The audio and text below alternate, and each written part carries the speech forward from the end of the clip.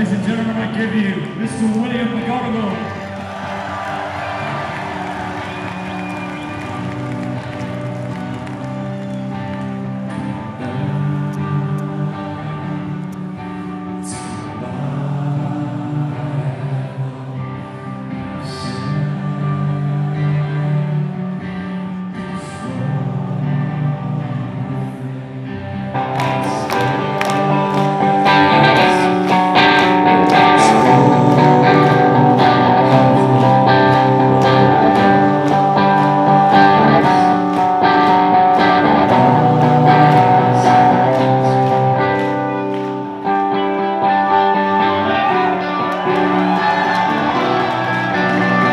Ladies and gentlemen, I